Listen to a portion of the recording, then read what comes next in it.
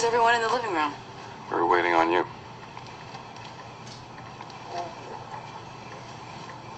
Sit down. We all have something to say to you. And what if I don't want to sit down? What is this? One of your creepy interventions? No. No. It's uh, not an intervention. In fact, we may be inventing something new here. It's kind of a prevention. We just want you to hear what we have to say. No, I'm going to my room. Mary, if you go to your room, we're all going to your room. Because we all feel that you're too close to getting into some real trouble here not to hear us out. We're your family. We love you. Look, if this is about the money, Sit down.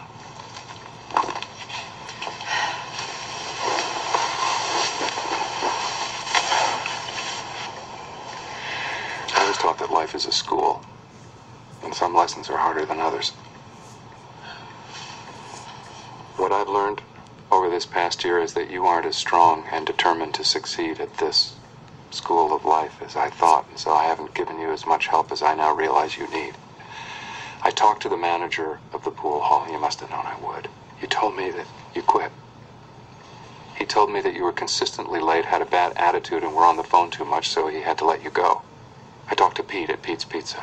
You told me business fell off and he had to let you go. He told me that he let you go because he knew you were hanging out after work with Frankie and Johnny drinking beer with him. He was afraid they were a bad influence on you, and he was worried about your drinking and then driving home.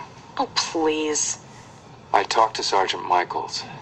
He told me that you were pulled over for not stopping at a stop sign, and he said that the officer who issued you that warning ticket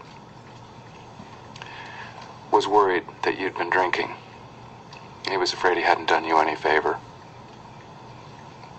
Afraid he didn't do you any favor either. None of us has. We just kept looking the other way because I don't think we wanted to see the truth. And the truth is, Mary, that we just love you so much. You're a wonderful young woman, and you have a lot to offer to the world. You're really special. You're really kind. And I love the way you just love life. But again, life has some hard lessons to learn. And I think I'd rather confront you tonight than continue to let you learn those lessons on your own.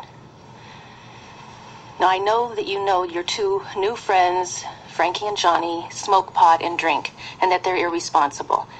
Do you also know that he hits her? They have serious problems, and we don't want their serious problems to become your serious problems. I'm sure you haven't forgotten that you're still on probation. If you get arrested for drunk driving or possession of marijuana, you could go to jail. I can't let you go to jail, Mary. I can't. Especially not because you're just mixed up about what you want to do in life. You know, I thought if we gave you some time to figure that out, maybe you would, but I'm afraid it time's up. I think in trying to find yourself, you've actually lost yourself. You're not the first person that's had that happen, but before you get too lost and confused, we want to help. I was hoping that you would ask for our help, but maybe that's just too hard for you to do right now. You must know how much I love you, Mary. I really do. I love you.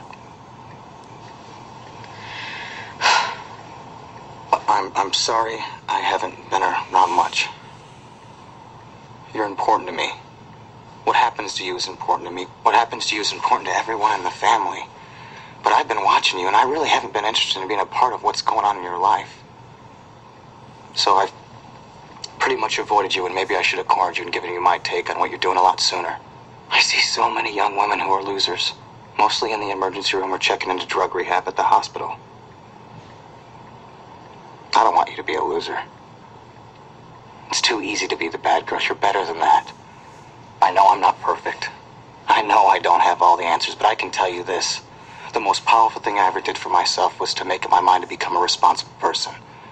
And I still haven't built up to being responsible 24 hours a day, but I'm getting better at it. And I'm hoping sharing this with you will help you to just make up your mind to become a responsible person. If you can't do it for yourself, maybe you could consider the rest of us and how much we need you to be responsible.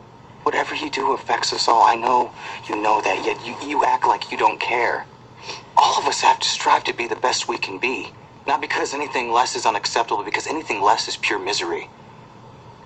I can see you're miserable. You are. This is not the best you can be. You can do better.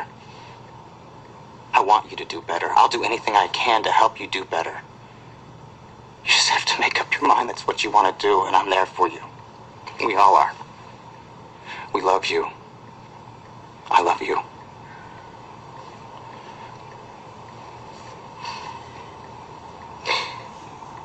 I love you too. This is hard.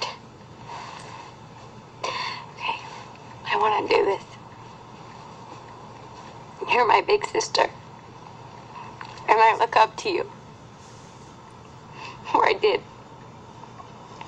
You've always been better at school than I am. You've always been better at everything than I am. And that at times has made me feel inferior. Yet most of the time, it's given me something to work toward. Because I wanted to be like you. But I don't want to be like you anymore. And I can only say that because I know that you don't want to be like you. You don't want to get fired from one bad job after another. You don't want to lie to mom and dad and the rest of us. You don't want to have bill collectors calling trying to find you. That's not you. You're that tall, beautiful, smart woman with a basketball in her hands and a brain in her head. I know you don't play basketball anymore, but maybe you could, or maybe you could play some other sport. Because it seems that when the team went down, you went down with it. Basketball has always been your identity. And maybe having the team fall apart may have caused you to lose your identity for a while. But come on, you're more than a former high school basketball player. You're an athlete. And that's an identity you can use your whole life. You need to compete. You need to be physical. You you need the discipline of training. You thrive on all that stuff. No one's locking you out of every sport in the community. You have to get back out there, and I'm willing to help you in any way I can. But I think this is something you have to do on your own. You could do it. You've come from behind to win before.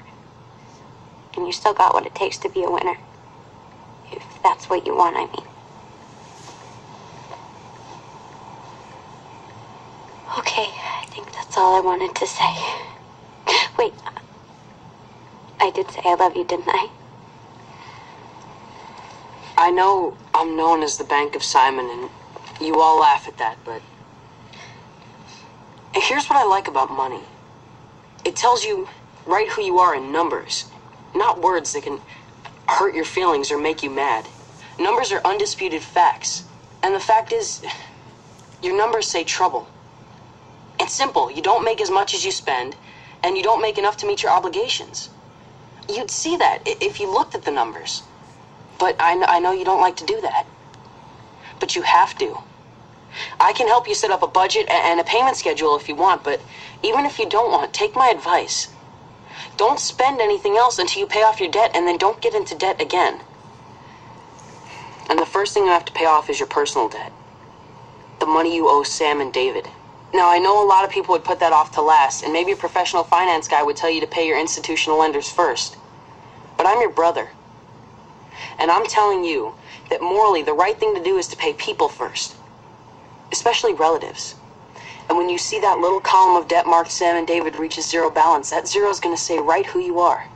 Just like I said. It's going to say that you, Mary Camden, care more about your family than anything else. It's going to say that you keep your promises to your family more than anyone else. And when you start seeing the rest of those little columns of debt go down week after week, the page is going to tell the facts of your debt recovery. It's a beautiful thing. And I want you to have a beautiful thing. Because I love you. I must be at the wrong meeting. I don't know where all this chummy advice and gushy stuff is coming from. Because I thought we were all supposed to tell you how mad we are. Because I'm mad. Really mad.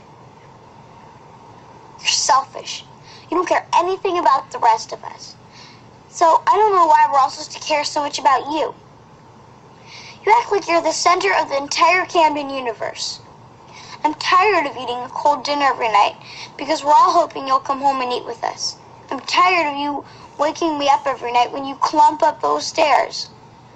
I'm tired of mom and dad fighting about you. I'm tired of covering for you, and I'm not doing it anymore. You made me lie to mom and dad. You never came home to have pizza with me like you promised. All you care about is you.